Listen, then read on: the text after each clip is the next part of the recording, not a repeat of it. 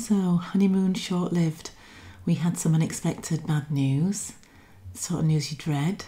Um, but put it in perspective, we're all healthy and well, so that's good. Tick. It's nothing to do with the foundations. Thankfully, the ground survey showed that the foundations are solid, so if we want to extend for a self build, which we will want to do, then it's solid, and so that's good. Tick.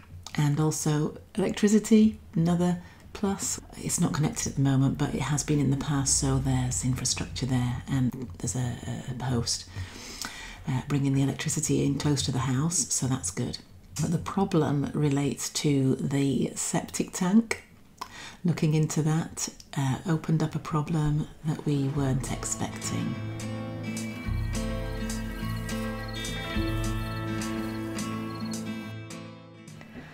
So I'm just showing you the plan here of the land that we own. I've marked the house and garage there, and then you can see this little strip to the left uh, is the designated septic tank area. They threw that little strip of land in extra. Imagine just doing that. You could probably fit about two houses on there. Um, but that's where the septic tank will be, and we've just marked it here in the yellow square. Um, it needs to be the percolation area, so the land needs to drain away really well. But unfortunately, it's long grass, marshy, bogland. This is Noel talking to Michael, our structural engineer, and Dennis, the land surveyor, giving the bad news that as it is, it probably won't pass planning regulations for the septic tank.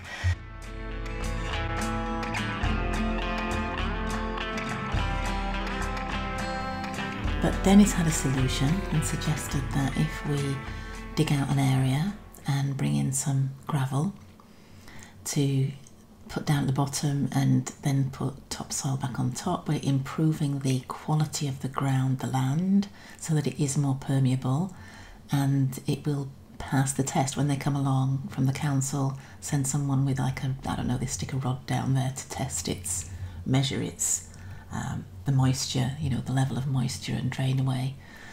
It will pass because what you don't want to be left with is a swamp where it's just stagnant and you know i mean that's just not healthy anyway and it would smell and it would be awful but it just wouldn't pass for um, environmental health standards.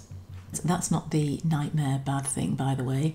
It, it was uh, yeah an extra expense. We had to get i think four three or four lorry loads of gravel brought i think it was three loads of gravel brought in but it was really what happened when they tried to do that that we weren't expecting.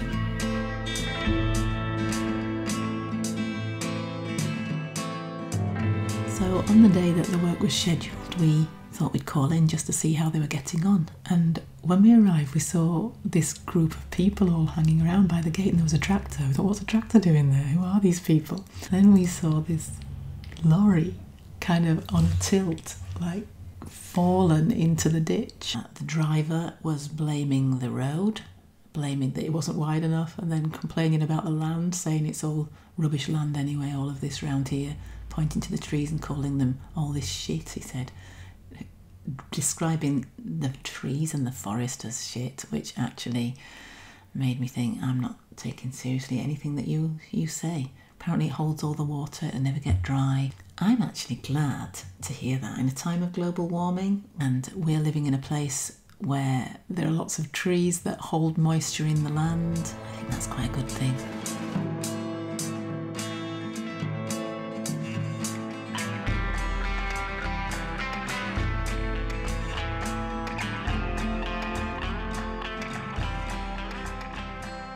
We were watching as they were trying to get this lorry out. The more the wheels were turning, the more it was churning up the road. It was just disappearing, like dissolving, disintegrating in front of our eyes, and we're like, what's happened to our road? It's not really a road, it's just mud, it's just like a field. I think they eventually got it out by another lorry of the same size coming out from the haulage company and towing it out. But from then on, they had to deliver the load using little dumper trucks to decant from the large lorry into their little smaller trucks and take it down to where it needed to be. But it made us realise that that road just was not fit for purpose. And if we had plans, as we did, to uh, extend the house and do any structural work there, We we just wouldn't be able to get cement trucks down there. Wouldn't be able to take the work the weight. So something had to be done to repair the road. And if you think about the cost of getting a new drive built, and then you times that by six because that road, that driveway is about quarter of a kilometre, we measured it, then you begin to see why it becomes a bit scary. And we just haven't budgeted for that.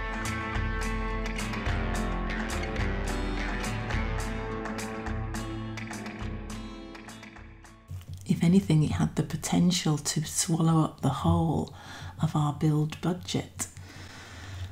So we didn't get much sleep that night. We knew that we needed to try and get in touch with the Forestry Commission, who we thought owned the land. If you look at this map, you can see that yellow line there. Our land doesn't begin.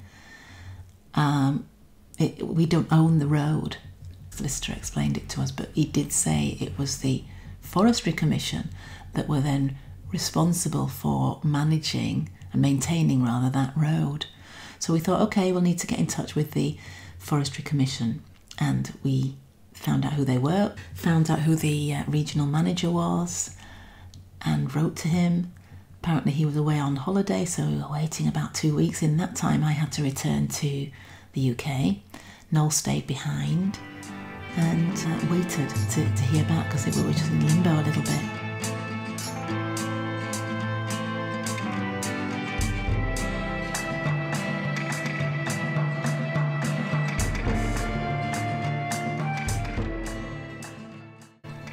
If the Forestry Commission didn't own it, who then owns this road? And how are we going to get it fixed?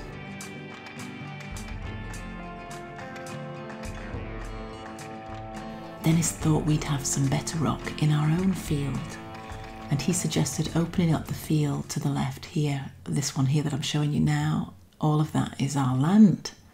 So we said, Yeah, go on then. He got all of the um, equipment in, got the diggers in, and sure enough, they found a seam of rock that they could use as hardcore for the road. So work began, and they dug down. They needed to go down about three foot to give it a really firm foundation, and then they covered it all over with hardcore. Our own hardcore, thankfully, I can't imagine what the bill would have been, what it would have cost had we had we had to buy in hardcore and transport it. You know, it just doesn't bear thinking about. So, what we were paying for in the end was the labour and the equipment, you know, the machinery. Uh, there were, I think, three or four of them working, and they worked from like half past five, six o'clock in the morning till like 10 o'clock at night. They worked so hard to complete this road in two weeks, which is really what all that Noel had left before he had to leave. And they did it, and it was amazing. They they um, laid all the hardcore the full length. They widened the road, in fact, which was great, so that yeah, we wouldn't have a similar problem when we had to bring in the trucks. The road would be plenty wide enough. And they also then put a membrane down. And finally, they topped it all off with a limestone. So we did have to buy that in. That was an extra cost, but just to sort of tidy it up and make it look nice. And uh, there we go, we had a road for a fraction of the cost that we expected it might be. It was still a lot of money. I am going to make a video one time with all of our costings in, and um, I'm sure you want to know that. And we can do, you know, we'll probably do a few actually, one midpoint and then one at the end of the project. But uh, it, it was okay. It was okay. So this year, now I'm in 2023. This was about a year ago that this happened. I'm making this video retrospectively. And uh, I haven't seen it yet. We're going out literally in about five days' time. I will see this road for the first time. I've only seen photos, these photos here that you're seeing now at the time of make of recording this. We haven't done not not much has been done for the rest of this year on the project because largely we've been just filling the pot, you know, replenishing the budget really, um, working hard to to get back to where we were before that an unexpected expense. It's all good, all's well that ends well, and we've got a lovely new road and it's brilliant. Sure, there'll be more unexpected, uh, yeah, blips, bumps in the road, and it's a it's a long and winding road. Yeah, it's not actually it's quite a straight road, but it certainly was long and it's quite expensive. But now it's done, it'll be it'll be there forever. It'll last us certainly our lifetime anyway.